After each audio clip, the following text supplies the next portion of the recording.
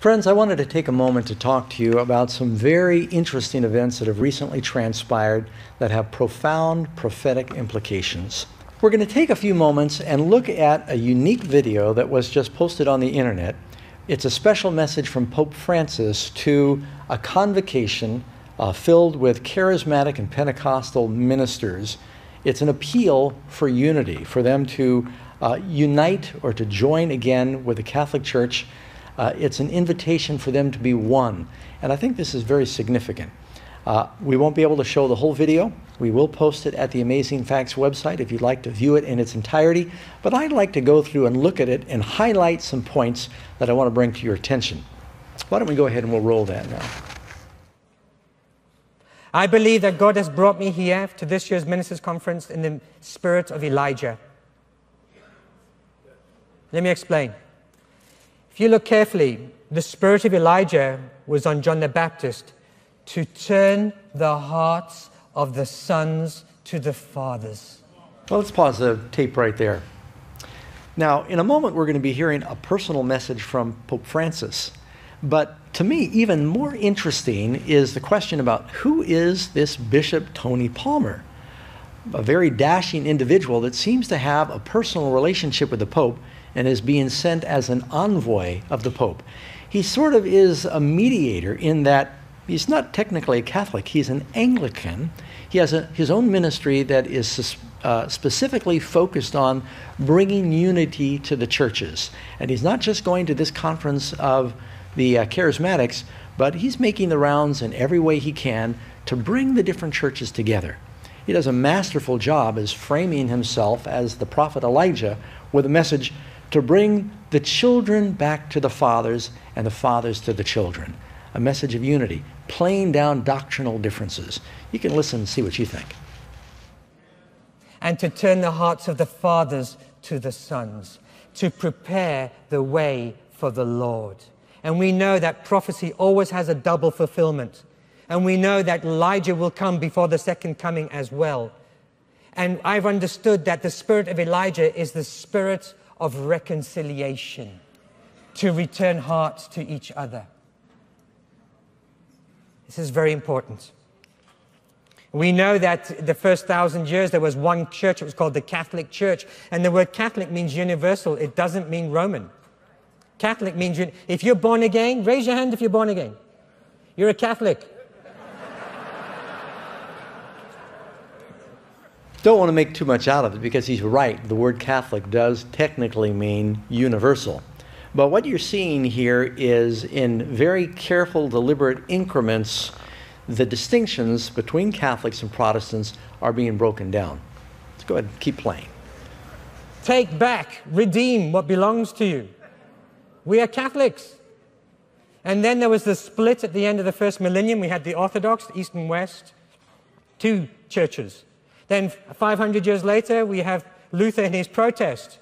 Three churches in 1500 years. Three denominations, not three churches.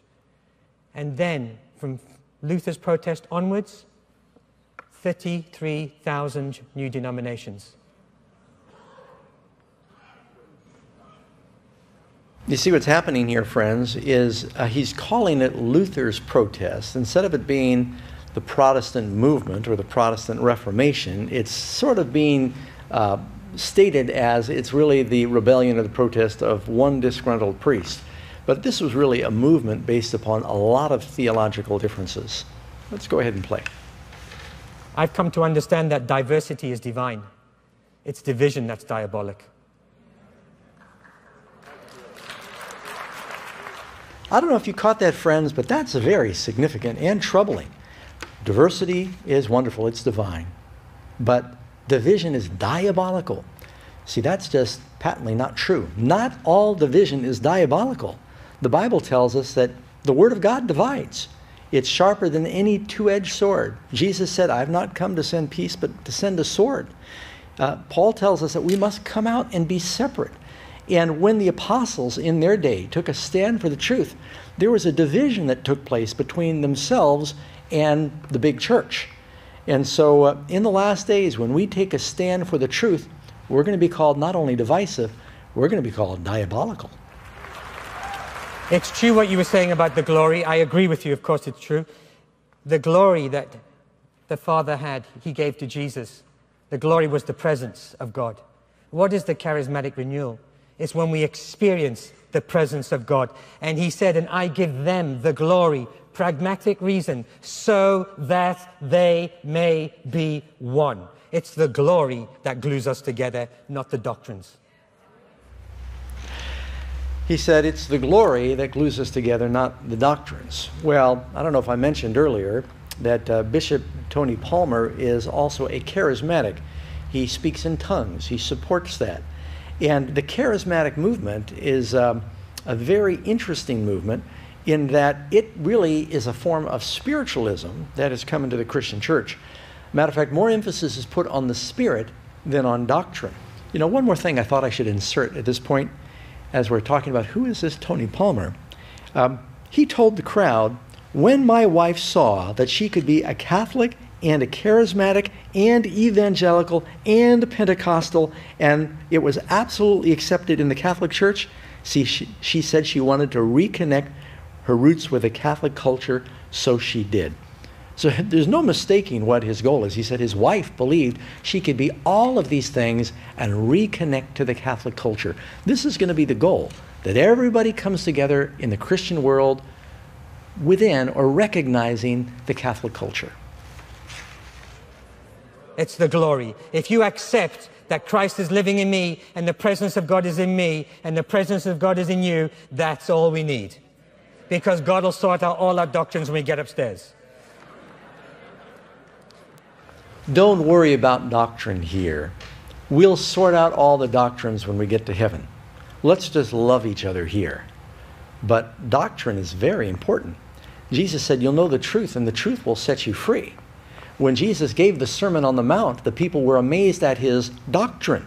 So, what are we going to do? Eliminate the Sermon on the Mount because we're just supposed to love each other? We'll sort out the doctrines later. This is going to be the mantra that you're going to hear over and over again. Let's play. Therefore, Christian unity is the basis of our credibility because Jesus said, until they one, they will not believe. The world will not believe, as they should, until we are one. Division destroys our credibility. It is fear that keeps us separated because fear is false evidence appearing real. It's an acronym F E A R, false evidence appearing real. Because most of your fear is based on propaganda. So, what we're really hearing here is that the Protestant Reformation teachings are propaganda that incites fear. And so it's bad. Don't worry about this propaganda. Okay, keep going. Now, why is it historic? Because in 1999, the Roman Catholic Church and the Protestant Lutheran Church signed an agreement that brought an end to the protest. Luther believed that we were saved by grace through faith alone. Amen. Little correction. It wasn't just Luther that believed this. It was tens of thousands of dedicated Christians that wanted to get back to the Bible. Huss believed it, Wycliffe believed it, Tyndale believed it, all the great reformers believed it. It wasn't just Luther. But that's not it. The Catholic Church believed that we were saved by works. And that was the protest. In 1999, they wrote this together. Because in the Protestant church, we had a lot of cheap salvations. People were getting born again, but no fruit whatsoever. And because we didn't even look for fruit, it wasn't the issue, because it wasn't necessary for salvation. And no, it's not. But it's a good judge if you are saved. So, what these two churches did, they put the two definitions together. Listen to it. I'm reading verbatim from the Catholic Vatican website. Justification means that Christ Himself is our righteousness, in which we share through the Holy Spirit in accord with the will of the Father.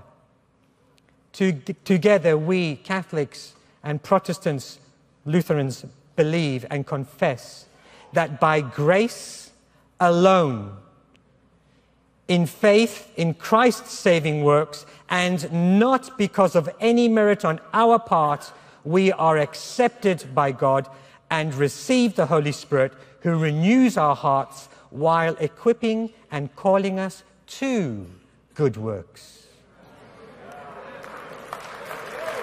Well, this may sound like it was just uh, the protest of Luther. Luther didn't protest against one thing. He nailed 95 different points of protest on the doors of the Wittenberg church. This is addressing one of the issues. It's not the only issue.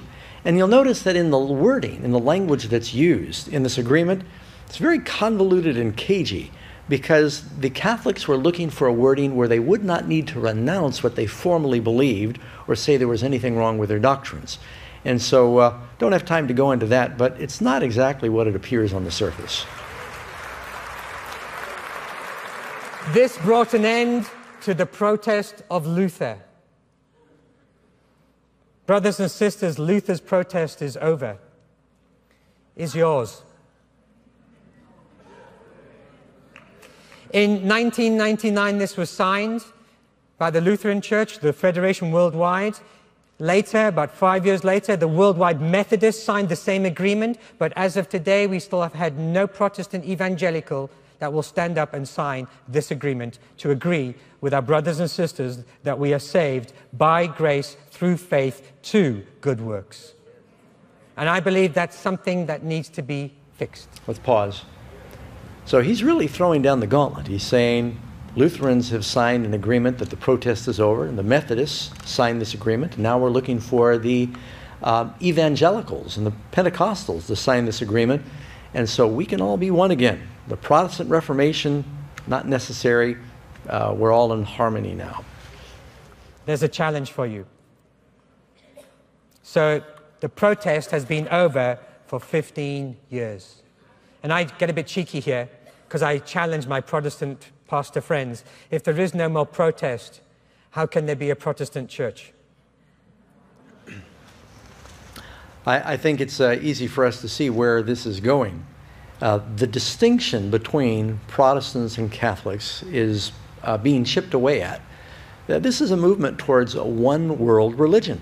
This is exactly what prophecy says has to happen before Jesus comes back. The world's being shaken right now. There'll only be two groups when Christ comes back.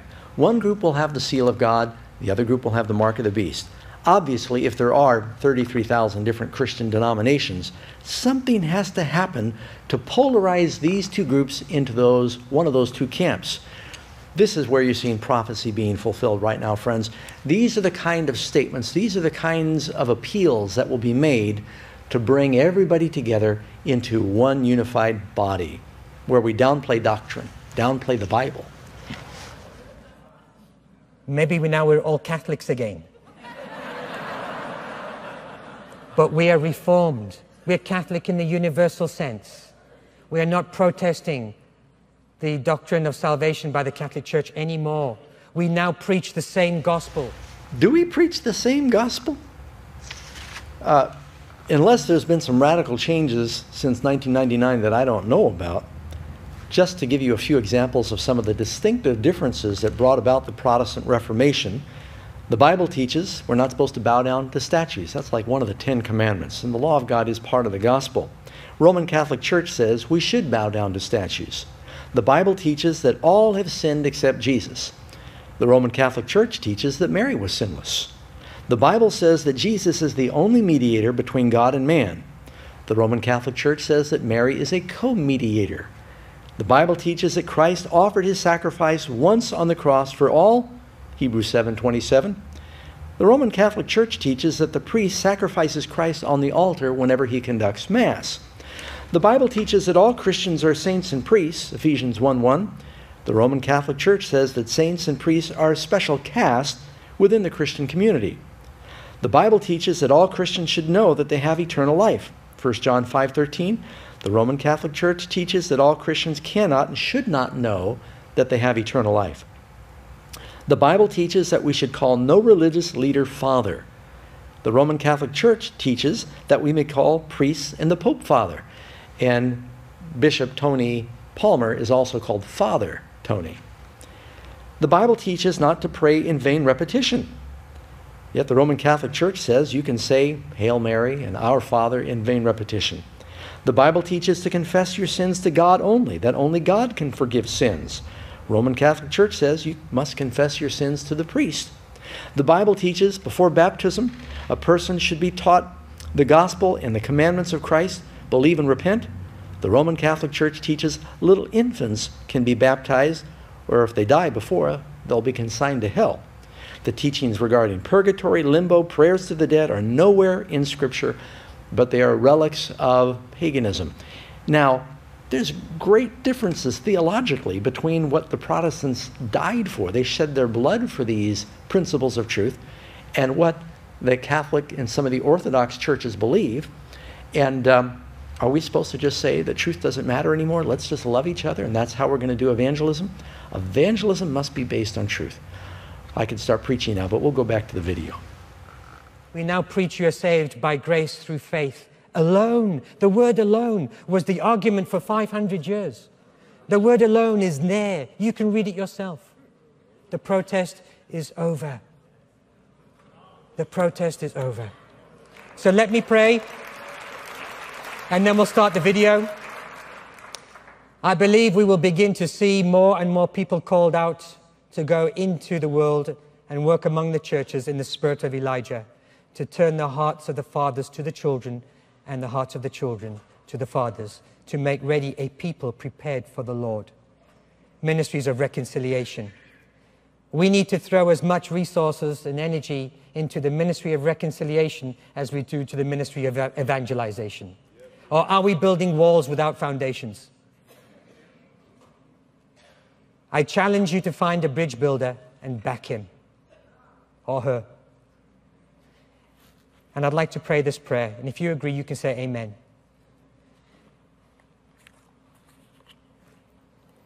This was a dying man's prayer.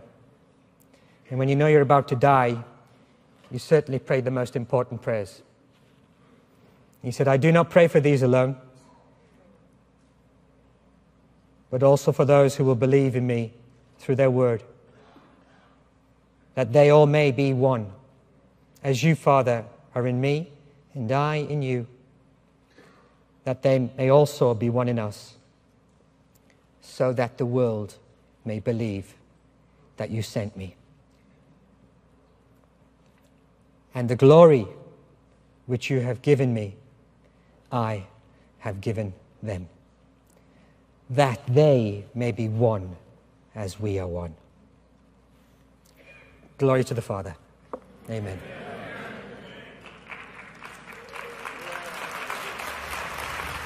Okay, so part of that prayer of Jesus is, of course, that there would be oneness, that we could be united.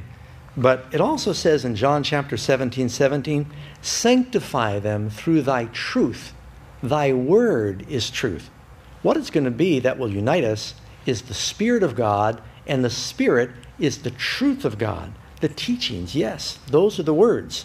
Again, John 16, same book, verse 13, However, when he, the Spirit of truth, has come, he will guide you into all truth. It's through the truth that we will have unity. It is through the doctrines.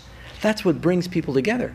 As we come closer together in the, uh, the theology of the Bible, the doctrines of truth, we come closer together in Christ because Jesus is the Word made flesh. It's not as we come closer together in a feeling, a charisma, or a feeling of glory when we're baptized with the gift of tongues, that's not what brings the church together. That's not what real unity is. Very little reference to the Word of God and truth that sets us free in this. Now I think he's going to be playing his segment from the Pope.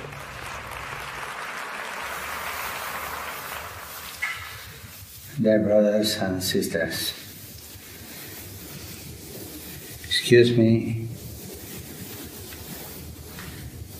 because I speak in Italian, but I am not speaking English. But uh, I will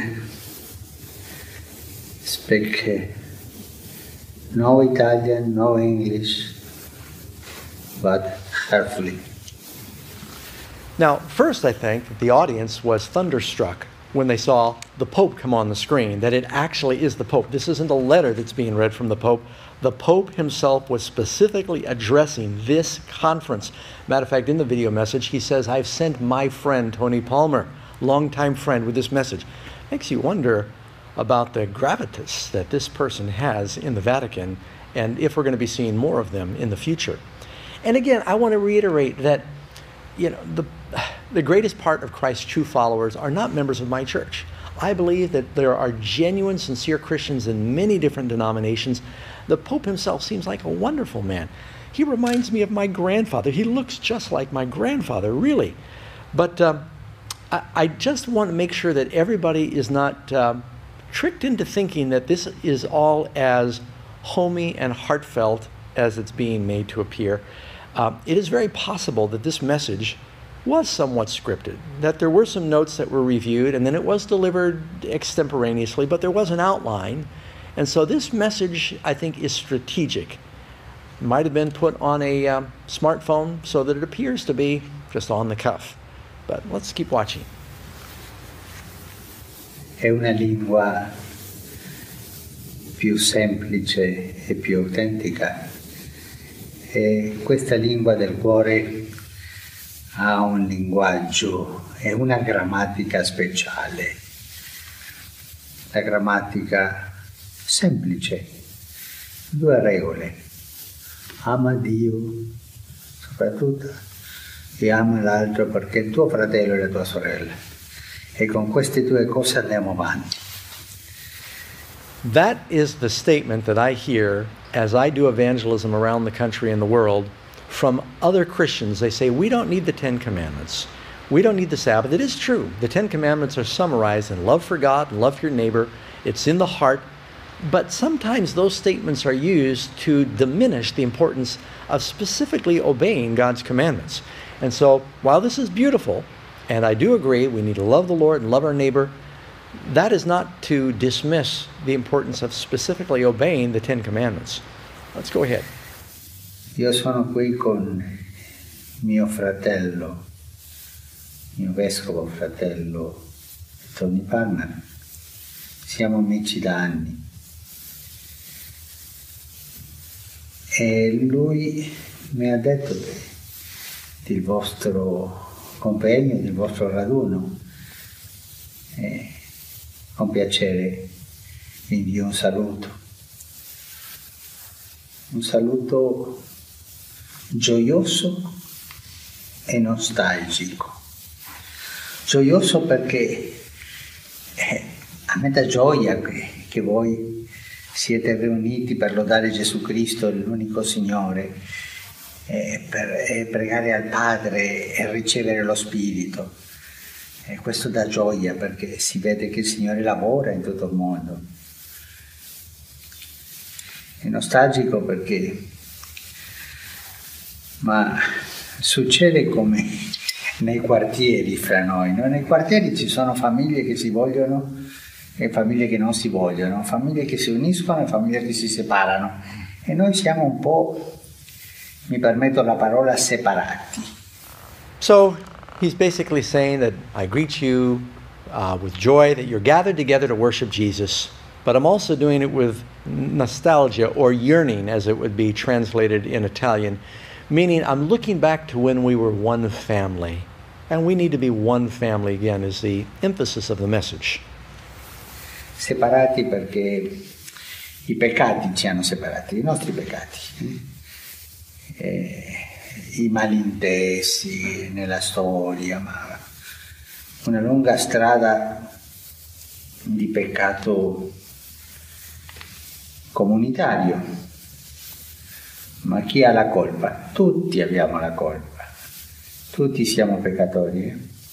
Now, to me, this could be the uh, biggest understatement of the millennium that all those 30 to 50 million people that were executed by the Catholic Church, this was a big misunderstanding, and we don't know who's to blame. Well, I think it's because there was such a great divergence of theology that people would not recognize the superiority and the authority of the church, and I don't believe that they've changed their view on that point. Soltanto uno è giusto, il Signore. Eh,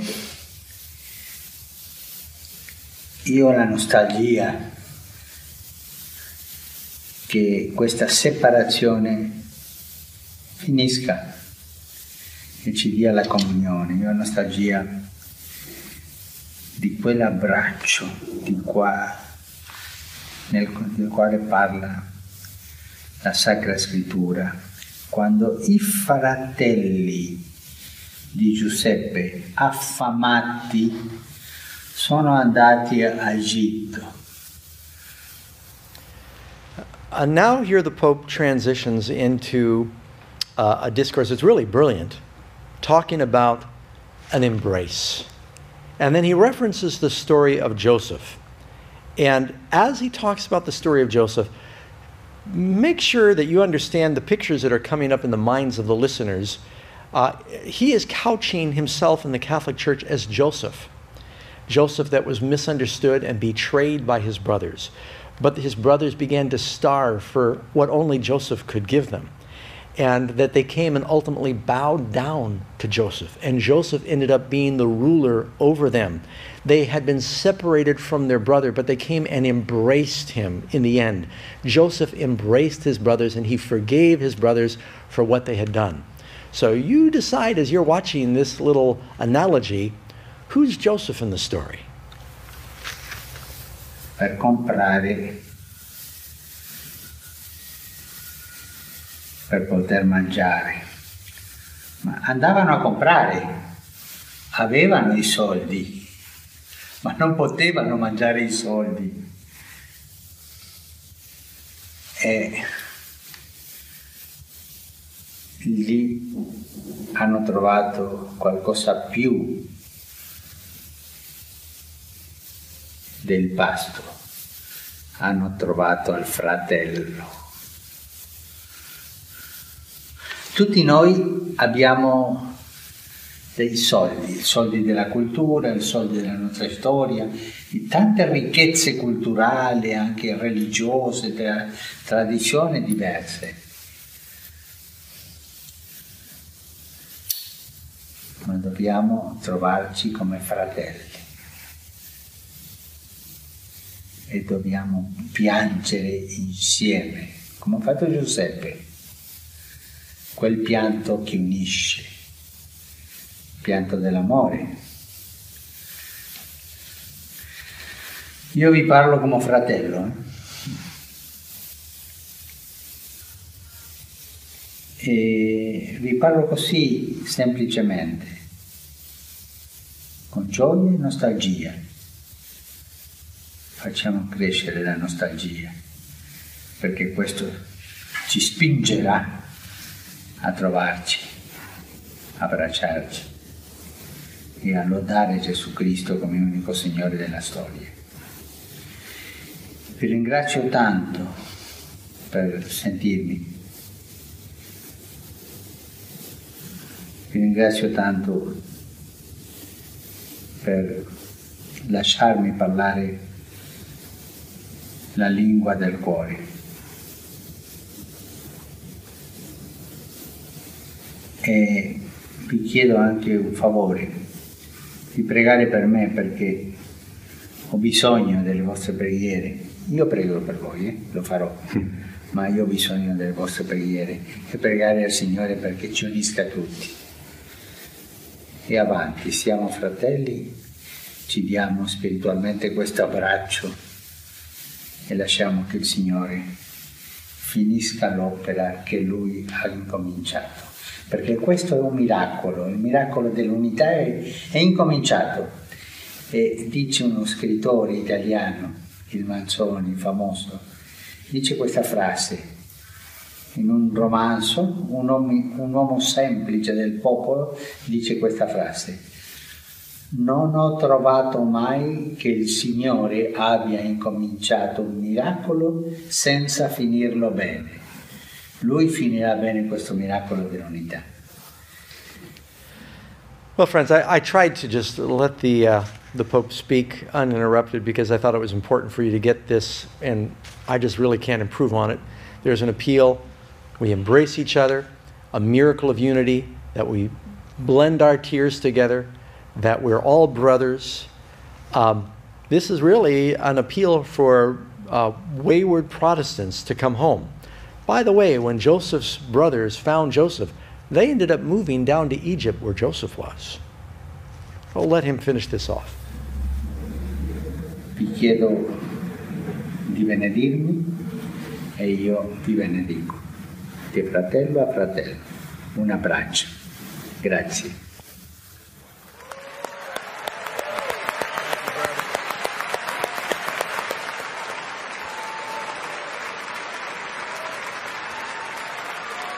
Oh. Glory, glory, glory. Tony, thank you, sir. Come on, the man asked us to pray for him. Oh, Father.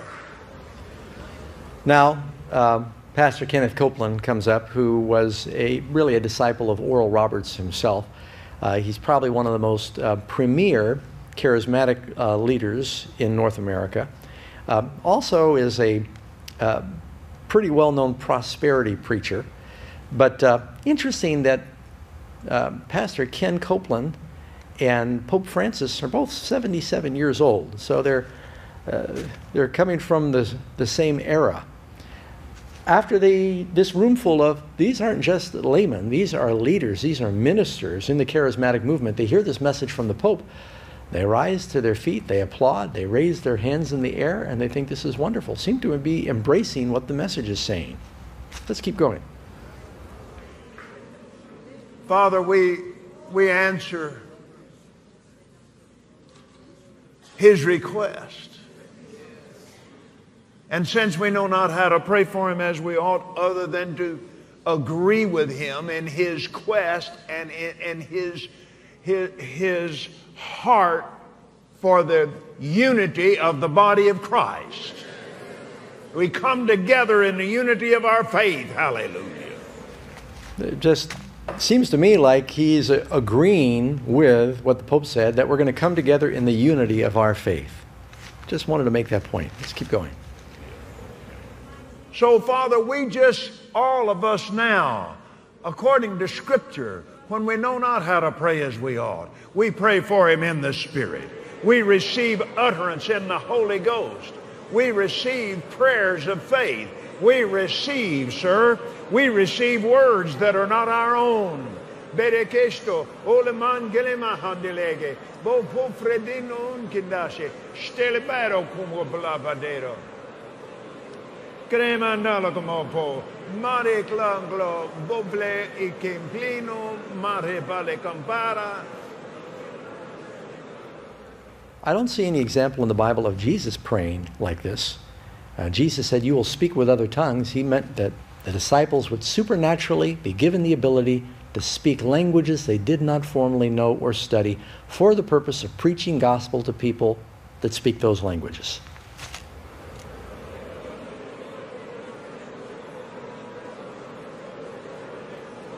La tele ashkepe. Fe folo tale endole como meste שתי לוקלופי הילמו לקמנה. Bramande kiri ko poma blesh do boshkire teleketo le kampak le nena maklo mahala largero le veno breto stesh kimanetelo kerebana kerebana. Pala como pole kito klestindo do plekava stekla fora batirli kiri ko makala ragava.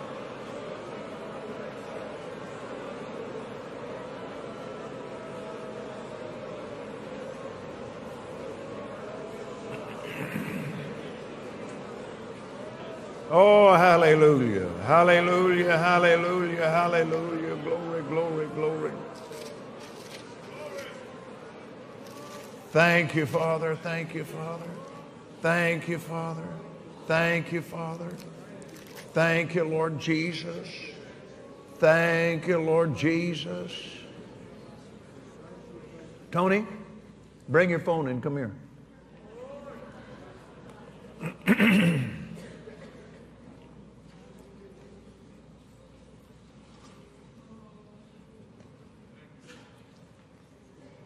I want you to video a message back. come up here and let's do it this way so he can see this, this whole congregation. So now it's actually a, a brilliant idea for um, um, marketing purposes that uh, Kenneth Copeland says now we'd like to send a personal message back to the Vatican, back to the Pope. So I've got to go to the Vatican again. yes. I'm ready, sir. My dear sir, my dear sir, thank you so from the bottom of our hearts. All of these leaders represent literally tens of thousands of people that love you, that believe God with you, and in answer to your request, we have just prayed for you and with you, and we did so in the Spirit. And we believe we receive, according to the words of Jesus in Mark 11 24, that whatsoever thing you desire when you pray, believe you receive them, and you shall have them. Our desire, sir,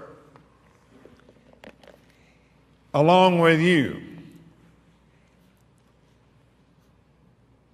is in the fourth chapter of the book of Ephesians. Till we all come in the unity of the faith and of the knowledge of the Son of God, unto a mature man, unto the measure of the stature of the fullness of Christ. Thank you, sir. We do bless you. We receive your blessing. It's very, very important to us. And we bless you with all of our hearts. We bless you with all of our souls. We bless you with all of our might. And we thank you, sir. We thank God for you. And so, all of us declare together be blessed. Once again, all together. Be blessed. Amen. Amen. Amen. Amen. Amen. Amen.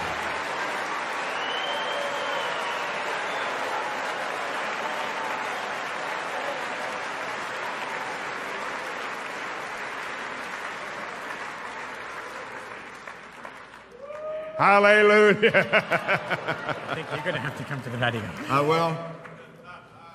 I'm available. Praise God. So, Bishop Tony was now inviting Kenneth Copeland to come to the Vatican. It'll be interesting to see if that uh, happens and how that plays out. Also, I, I don't think anyone could miss that they seem to embrace the message of the Pope for unity, say, We want your blessing and we want to bless you. God's will be done. Amen. Tony, thank you, sir. My, how you've blessed this place tonight. Give him a love, Jim. Thank you. Amen. Woo! I told you you'd never forget it.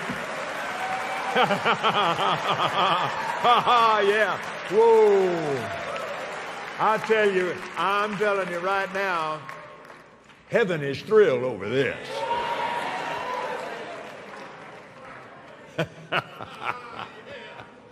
oh, thank you, Lord.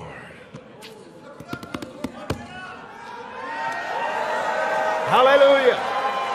You know, you know what? You know what's so thrilling to me? I, I mean, when we went into the ministry 47 years ago, this was impossible. Uh, that's right. He recognized how much things have changed since he first went into ministry because the charismatics and the Pentecostals were very much Protestant, and they taught that the beast of Revelation back then was the Catholic Church. Things have radically changed, and you can see that in black and white in their teaching. Well, friends, I'd like to just close by reading something to you, and then I would like to suggest that you uh, do a little further study. This is from chapter 35 in the book Great Controversy, and you tell me if you think that prophecy is being fulfilled. Romanism is now regarded by Protestants with far greater favor than in former years. In those countries where Catholicism is not in the ascendancy and the papists are taking a conciliatory course in order to gain influence, there's an increasing indifference concerning the doctrines that separate the Reformed churches from the papal hierarchy. The opinion is gaining ground that, after all, we don't differ so widely on vital points as had been supposed, and so a little concession on our part will bring us into a better understanding with Rome. The time was when Protestants placed a high value upon the liberty of conscience, which has been so dearly purchased.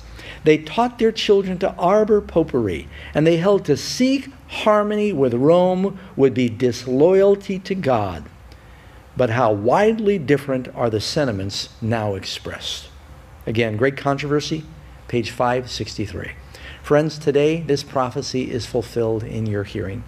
In light of all these things that are happening, I know now why the Lord helped us get through three and a half years in producing one very important 90 minute DVD. This is a docudrama that Amazing Facts has just released. It's called Revelation The Bride, the Beast, and Babylon. And if you watch this, you will understand why these issues are so significant and how close we are to the end of time. But I want to emphasize in closing that this is just one more important landmark in prophecy. Uh, there's still a lot left to happen that we need to understand. But even knowing the details of prophecy is not going to be the thing that will save us. We need to have a daily personal relationship with Jesus that's based on His truth and His Word. Are you studying the Word? Do you walk with the Lord? It's the truth that will set you free, friends. We need to pray that if there's anything that we're holding back, that's keeping us from really surrendering ourselves fully to Jesus, taking up our cross and following Him, that you'll choose to do that today. Have you ever wondered what it would look like when prophecies are fulfilled? Uh, what more can you expect than personal messages from the Pope to Protestants? I think we're seeing these things happen right now.